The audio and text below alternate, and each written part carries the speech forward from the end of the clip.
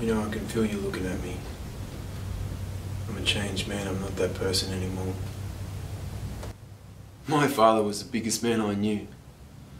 Beat on me a lot when I was a kid. So, I stayed away from home as much as I possibly could. I had a real bad one, so I didn't talk much either. There was this guy in our neighbourhood, Tank. Big, badass, covered in tattoos.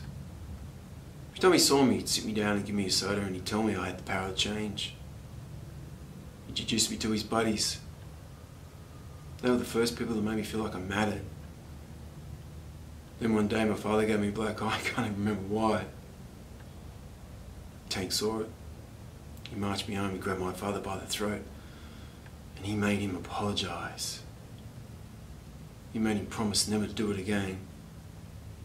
He said, Your boy, he's one of us now. My father never laid another hand on me. That was the first time I ever felt like I had power. Before I knew it, I'd become one of them.